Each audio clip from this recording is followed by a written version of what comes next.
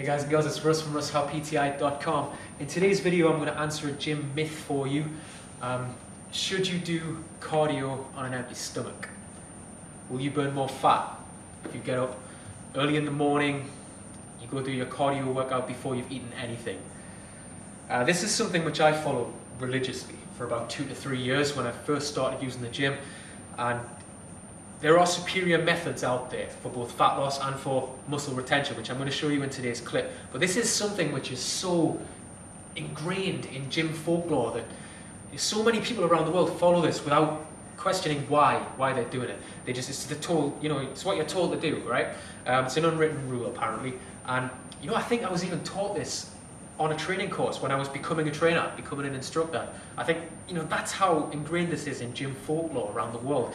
Um, but no, there, there, are superior methods. I'm going to focus on one today, all right? Having a protein shake before you hit the gym for your cardio workout or before you go outside for your cardio workout has been shown to be more effective both for lean muscle retention and for fat loss, which is why we're here, right? It's what we both want to achieve, right?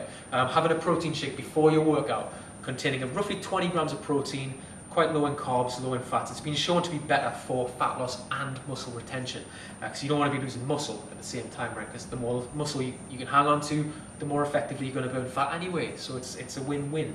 Um, there was a study done over in the USA which really caught my, my eye, the findings of this study, and it changed the way that I did cardio. Because like I say, I used to do that. I used to do cardio first thing without eating. And these guys, uh, these researchers, looked into this exact topic, and what they found was they, they compared the effects of having, first of all, they did the effects of having 20 grams of protein before your workout against having 20 grams of carbs before your workout. And they found that the protein group burned more fat, okay?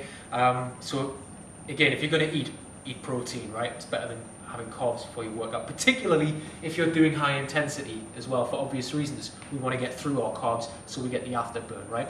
Um, so yeah, protein's the way to go if you're going to eat. And then they also compared this exact myth in the gym, which a lot of people overlook completely. They looked at the effects of having this 20 grams of protein, actually, I think it was 18, 18 grams of protein uh, versus doing your cardio on an empty stomach. And they put two groups through the cardio session, exact same workout. What they found was that the protein group, not only did they burn more calories in the gym during the workout, but 12 hours later, they were still burning more calories than the other group. They were burning more fat than the other group by having a protein shake. They did the exact same workout, guys. Um, I was looking at this thinking, you know, I'm going to give this a try and I'm going to use it with my clients as well, see what they think. And I got to tell you guys, I, I prefer it.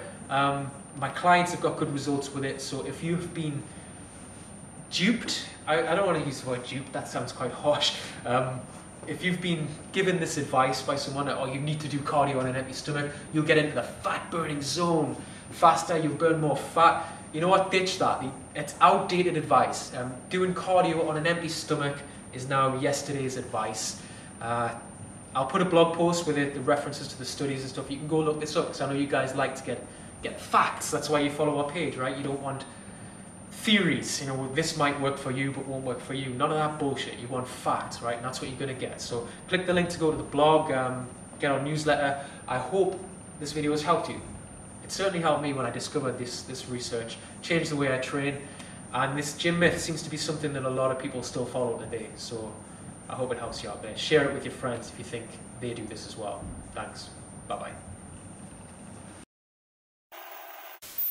Alright guys, if you're not on our email newsletter yet, I'll put the link up there. Click that, get on the newsletter. There's over 30,000 people now following our tips around the world via the newsletter. And there's nothing stopping you from getting results too. Whether it's for fat loss tips without the jargon, or muscle building facts, or supplement advice. The guys and girls on my newsletter also get the first word about any Russ PTI training programs that I release before they're released to the public, my gym, my website, across my social media, they literally get the first word. Which leaves me with one question. What the hell are you still doing here? Alright guys, what we're going to be talking about... Shit!